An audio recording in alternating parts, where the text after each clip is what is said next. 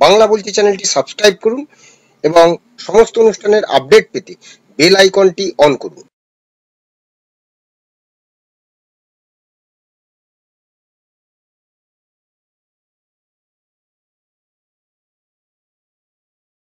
নমস্কার, বাংলা বলছি চ্যানেল থেকে বিপ্লব দাস বলছিলাম।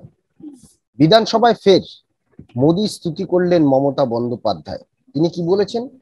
বলেছেন, মোদী চান না রাজ্য সরকারকে না জানিয়ে এ ওর বাড়িতে ইডি সিবিআই তল্লাশি চালাক বিধানসভার অধিবেশনে মন্তব্য মুখ্যমন্ত্রী মমতা বন্দ্যোপাধ্যায়ের। পার্থ চট্টোপাধ্যায়ের গ্রেপ্তারের পরে এই প্রথম মমতা বন্দ্যোপাধ্যায় বিধানসভার অধিবেশনে যোগ দিলেন। সেখানেই তিনি কেন্দ্রীয় তদন্তকারী সংস্থার বিরুদ্ধে ক্ষোভ প্রকাশ করেছে এবং তিনি বলেন যে, রাজ্য সরকারকে না বলেই এর ওর বাড়িতে চলে যাচ্ছে। আমি জানি মোদি এটা চান না। এটা বিজেপি নেতাদের কারবার। মমতা বন্দ্যোপাধ্যায় ইডি সিবিআই নিয়ে সক্রিয় হওয়া স্বাভাবিক। কিন্তু হঠাৎ তিনি প্রধানমন্ত্রীর প্রশংসা করে বিজেপি নেতাদের টার্গেট করছেন। কেন?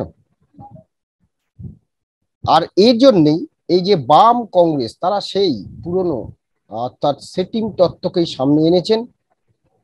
এবং মোহাম্মদ সেলিম, যিনি সিপিএমের রাজ্য সম্পাদক, তিনি বলেছেন, মমতা হিজাব পরে আরএসএস এর হয়ে কাজ করছেন।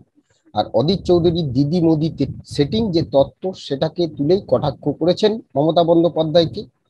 আর বিরোধী দলনেতা শুভেন্দু অধিকারী বলেছেন, চুরি করলে ধরা পড়তেই হবে। আমরা যদি দেখি, কিছুদিন আগেও আরএসএস এর প্রশংসা করেছিলেন মমতা বন্দ্যোপাধ্যায়, এবার মোদির। কেন? কি এর পেছনে রয়েছে? আজকে এই বিষয় নিয়ে আলোচনা করব। আমার সঙ্গে রয়েছেন সাংবাদিক অরূপ কালী। অরূপ দা, হঠাৎ মমতা বন্দ্যোপাধ্যায় এবার মোদি স্তুতি করলেন বিধানসভায়। অথচ ইডি সিবিআই কে তিনি টার্গেট করেছেন সেখানে মোদি এটা করছেন না অন্য বিজেপি নেতারা করছে কেন? দেখো বিপ্লব এই প্রথমবার নয়।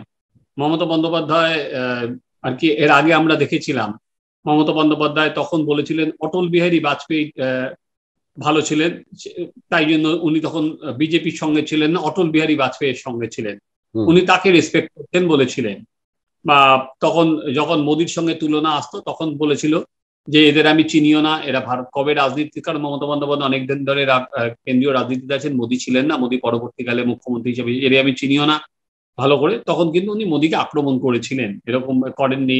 এবং পরবর্তীকালে তার যখন রাজনৈতিক মঞ্চ থেকে তো পুরোপুরি আক্রমণ করেছিলেন এবং ইডি, সিবিআই সেগুলোর জন্য প্রধানমন্ত্রীকে দায়ী করেছিলেন, তখন উনি ডিফারেন্সিয়েট করেননি। কিন্তু পরবর্তীকালে উনি যেটা করছেন রাজনীতিবিদ সূক্ষ্মভাবে রাজনীতিবিদরা যা করেন ভেবে চিনতে করেন কোনো জিনিসটা এরকম নয় যে বলে দিচ্ছেন পেছনেও সূক্ষ্ম রাজনীতি আছে।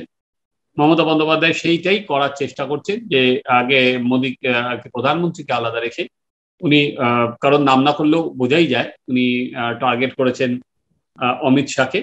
এবং সেখানে এবং সেখানে দাঁড়িয়ে উনি আজকে উনি বলেছেন যে সিবিআই নাকি এখন স্বরাষ্ট্র মন্ত্রক থেকে নিয়ন্ত্রিত হয়। আমি জানতাম যে পিএমও থেকে হয়।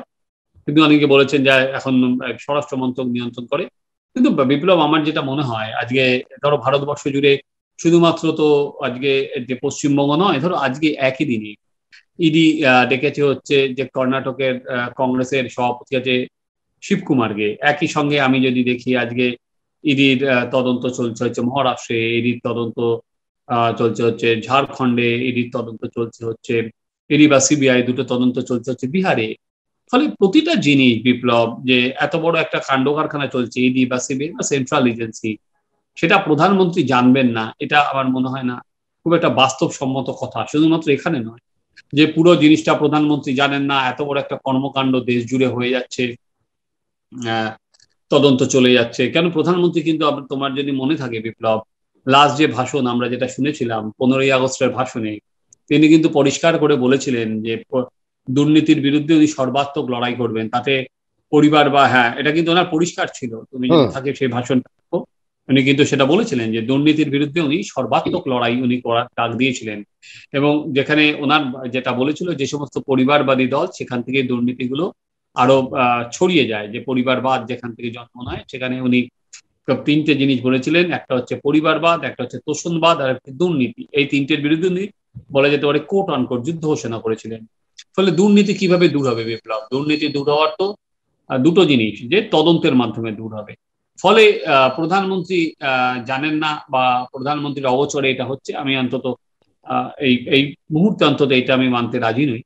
হ্যাঁ মমতা বন্দ্যোপাধ্যায় যে রাজনীতিটা করার চেষ্টা করছেন, সেটা হচ্ছে উনি ভাবছেন হয়তো যে এই করে যে লোকের মনে বা আর কি একটা কনফিউশন সৃষ্টি করে দেওয়া বা নিজের ক্যাডাররা যে জায়গায় আছে তাদের একটা মেসেজ দেওয়া।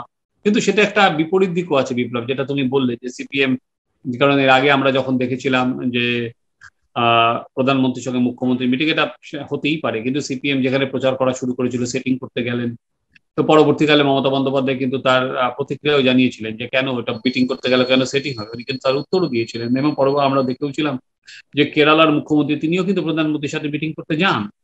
ফলে মমতা বন্দ্যোপাধ্যায় যে এই কথা কিন্তু আরও আমার যেটা মনে হয় ওনার আমি জানি না, তৃণমূলের কতটা লাভ হবে, তাতে অনেক বেশি আর কি পলিটিক্যাল লাভ বেশি হবে কিন্তু বিরোধীতে বিরোধীরা যে যেটা বলছে যে সেটিং এর রাজনীতি বা কিছু, কারণ পরবর্তীকালে ধরো কোনো জিনিস যদি স্লো হয়ে যায় তাহলে সঙ্গে সঙ্গে বলবে যে ওই তো প্রধানমন্ত্রীকে দিয়ে করানোর চেষ্টা হচ্ছে, প্রধানমন্ত্রীকে ধরানোর চেষ্টা হচ্ছে। এটা যেমন তৃণমূলের পক্ষে ক্ষতিকারক, তেমনি রাজ্য বিজেপির পক্ষেও ক্ষতিকারক। তাহলে এই যে বিরোধীরা যেটা বলছি আর কি মানে যে মমতা বন্দ্যোপাধ্যায় অরূপদা সাধারণত বিধানসভায় দাঁড়িয়ে, কারণ আমরা জানি যে বিধানসভায় যা বক্তব্য, সেগুলো সবই রেকর্ড হয়। অন্যান্য জায়গায় বলতেন মধ্যে হঠাৎ করে বিধানসভায় দাঁড়িয়ে বললেন আর বিরোধী দলনেতা শুভেন্দু অধিকারীকে তিনি কটাক্ষ করতে ছাড়লেন না। তাহলে এটা এটা এটা, এটার মধ্যে অন্য কোন রাজনীতি আছে বলে মনে হচ্ছে? না, যেটা হচ্ছে স্বাভাবিকভাবে বিজেপি, এখন তুমি যদি দেখো যে তৃণমূল কংগ্রেসের পুরো আক্রমণের অভিমুখী কিন্তু শুভেন্দু অধিকারী।